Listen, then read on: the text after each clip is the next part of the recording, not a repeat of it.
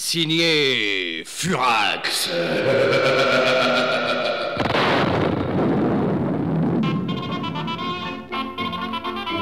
Dixième épisode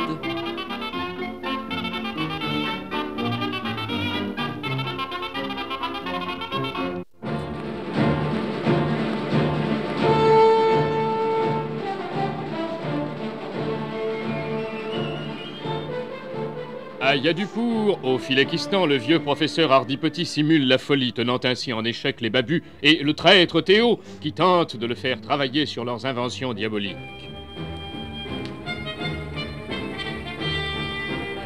Feignant de prendre l'horrible claquemuf pour sa fille Carole et le tueur Grougnache pour un chien, le professeur a imposé ses caprices à ses ennemis désemparés. Ah, les voilà, les voilà. Oh, comme ils sont mignons. Alors, ma petite Carole, qu'est-ce qu'on dit? Bonjour, mon petit papa chéri. Et mon bisou Quoi? On ne me fait pas un bisou Là, voilà, mon papa, un gros poutou. Un poutou. Elle est mignonne. N'est-ce pas, Théo, qu'elle est à croquer Oh oui, on en mangerait. Allez, viens. Viens sur mes genoux, mon petit. Viens sur les nounous à papa. Mais euh, comment tu, tu ne penses pas que Euh, je vais... Veux-tu obéir? Et vite Euh, là, voilà. Oh, comme tu es lourde à présent Une vraie jeune fille Il est complètement siphonné. Comment? Je dis, sa jupe va être complètement siphonnée. Non, non, non, non, non. Mais Elle est emplissée, très fragile, papa. Voilà, Sais-tu qu'elle est belle comme un cœur? Patron, vous avez bonne mine. Veux-tu te taire, toi, vilain chien? Allez, rouge, au coin Au coin roule Il me flanque des coups de pied Veux-tu faire le chien, idiot? Oh, ouah, ouah À présent, bon papa, souvenez-vous de ce que vous nous avez promis. Tiens, le coup- je- ah. Ah oui, oui, oui, le réimpolateur de densité. Eh oui, oui. C'est le cadeau de mariage que tu peux faire à Carole. Hein?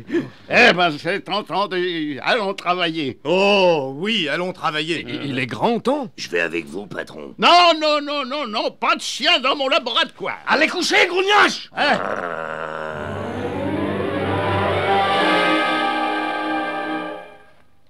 Voilà, professeur.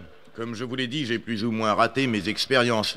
Les monuments réduits ont retrouvé leur taille, mais irrégulièrement, avec des désordres euh, inexplicables. Hum, hum, hum, j'ai vu, j'ai vu, c'est- ridicule. Ah, tout le monde ne peut pas être un savant comme vous. Ben, heureusement.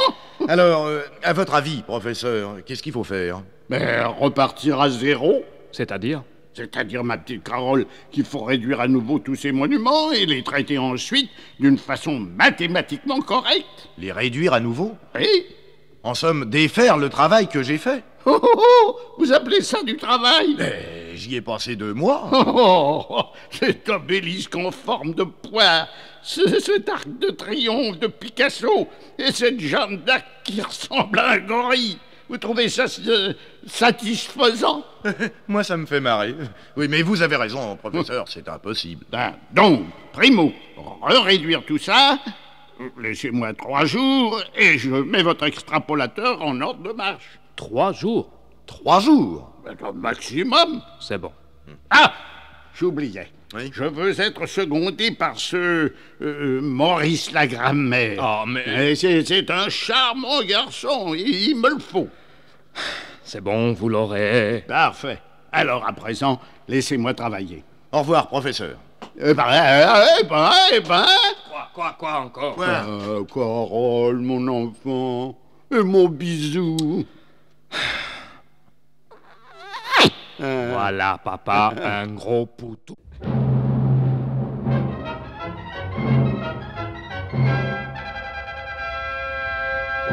Ah, mon cher Théo, il y a des jours où la tâche d'un babu est écrasante. Vous serez récompensé, Claquemuf. Vos sacrifices vous rapporteront un jour. Ah, mais c'est notre espoir à tous. Les babus ont décidé de gouverner le monde.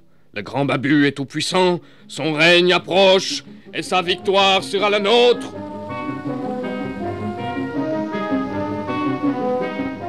Nous prendrons par-ci, par-là dans le monde tout ce qui vaut quelque chose, comme nous avons déjà enlevé vos monuments de France. Savants, philosophes, écrivains, artistes, tout ça sera mis sous cloche et travaillera pour la gloire des babus. Le reste. le reste sera détruit.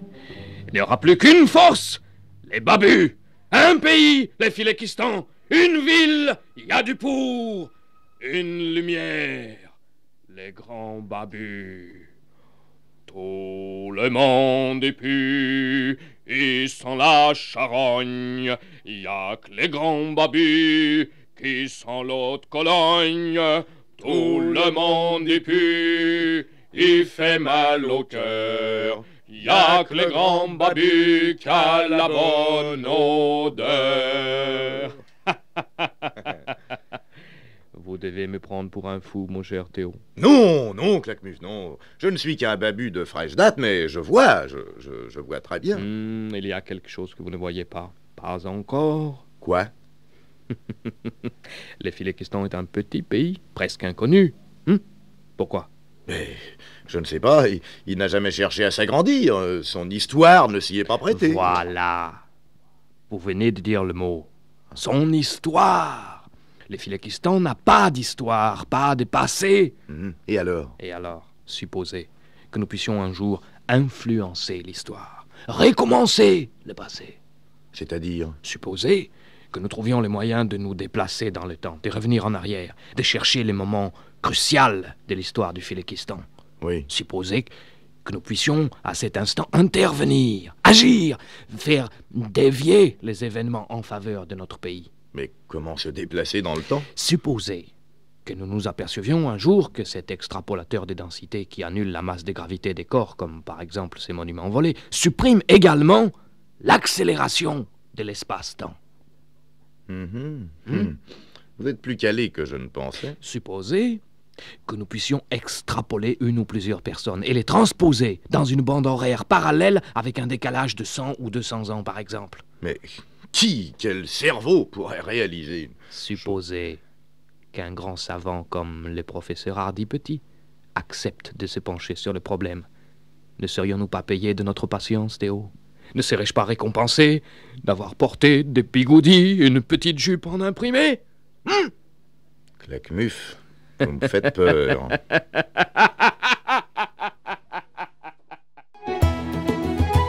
Merci d'avoir écouté. N'oubliez pas de vous abonner, de nous suivre sur tous nos réseaux sociaux et pourquoi pas de nous aider financièrement.